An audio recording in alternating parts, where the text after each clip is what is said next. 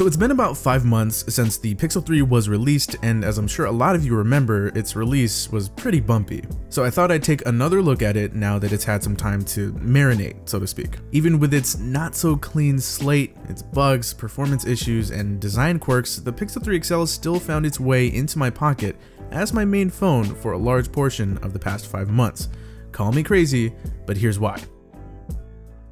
Let's get the obvious out of the way. The cameras. The Pixel 3's cameras remain my personal top pick and I think I can speak for a lot of people when I say this is still the best set of cameras for regular stills and selfies. And it continues to impress with its single rear facing camera and Google's software wizardry. And yes, I know there are some people that actually don't like the way the pictures come out on the Pixel, but there's no denying the sharpness and the detail and the ease of getting a great shot, especially in portrait mode. And cameras aside, the Pixel 3 still has a number of things going for it. Its screen is still one of the best on an Android phone. The phone itself is made out of nice, solid, premium, good feeling materials. It's one of the only flagships left with dual front firing speakers. It's got the best haptics I've felt on an Android device. It's got a rear mounted fingerprint reader and people think I'm crazy for liking this, but hey, it's comfortable and it actually works. Then of course, it's got pure pure, stock, always up to date, pixelized Android, and all the things it has to offer, like now playing,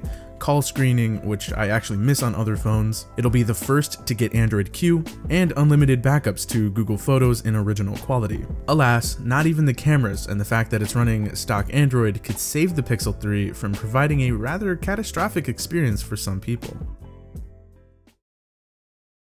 Just wanted to take a moment to thank this video's sponsor, Skillshare, for supporting the channel and helping make these videos possible. Skillshare is this awesome site dedicated to helping people learn and boost their creativity. With over 25,000 different classes spread across categories such as design, photo and film, technology, entrepreneurship, gaming, marketing, and much more, you will be sure to find something that suits you. Skillshare is the perfect place to help you learn and sharpen skills for things like designing mobile applications or mastering Procreate on the iPad, which are both things I'm actually taking advantage of and really enjoying. For under $10 a month on an annual plan, you will get complete unlimited access to their full library of classes, which I think is an incredible deal. But not only that, the first 500 of you that use that first link down below in the description will get a free two month trial. So make sure you hop on that right away.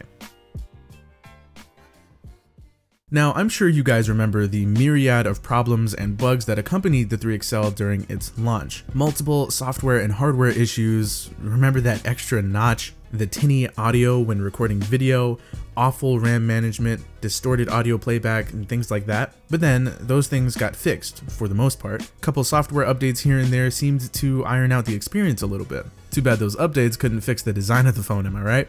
I don't think I really need to go into all that, but I'm pretty sure we can all agree this isn't the most aesthetically pleasing phone around. Now, in my experience, as time has gone on, things have worked out just fine. The design kinda disappeared and I was immersed into the rest of the phone. I was getting 5 to 5.5 hours of screen on time, performance overall was pretty smooth, and everything just worked as it should with few hitches. And luckily, I can still say the same today. My Pixel 3 XL works just fine. On the flip side, however, others haven't been so lucky. A few tech reviewers and even some Pixel users within our Android Police family reported that their Pixels were not performing well. Reports, tweets, and articles surfaced with people saying that their Pixels began to lag.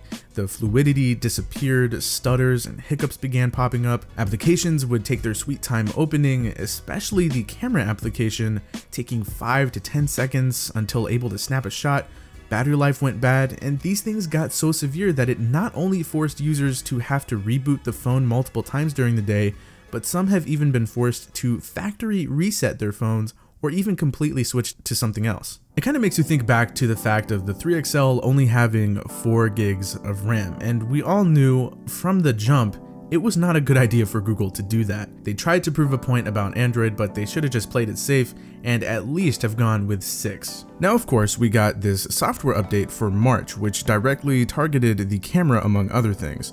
It stinks that it took this long for it to come out, but better late than never I suppose. So this should have fixed everything, right?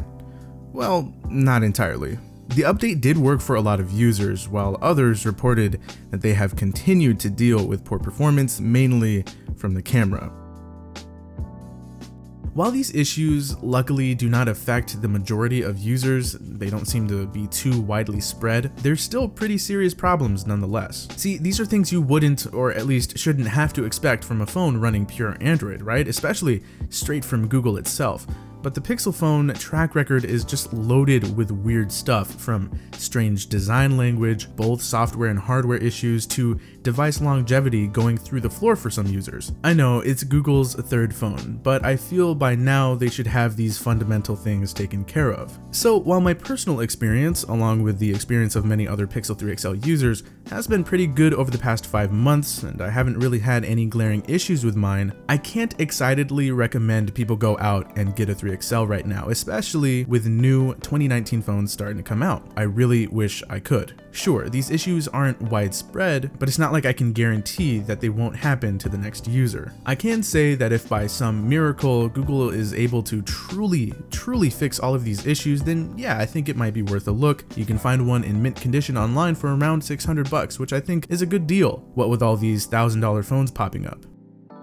Google's got some work to do. I'm remaining hopeful for their next smartphone attempt, and I expect it to be amazing. As for the 3, well, let's just look at it as another stepping stone to what will hopefully be Pixel perfection. So what are your thoughts on the Pixel 3 XL 5 months later? Do you have one? If so, let us know your experience with it so far and whether or not you'll be sticking with it or switching to something else. We'd love to hear your feedback. But anyway, that does it for this video. I hope you guys enjoyed. If you did, feel free to hit that like button, subscribe to the Android Police channel if you are new. That does it for me. I will talk to you guys later, and thank you so much for watching.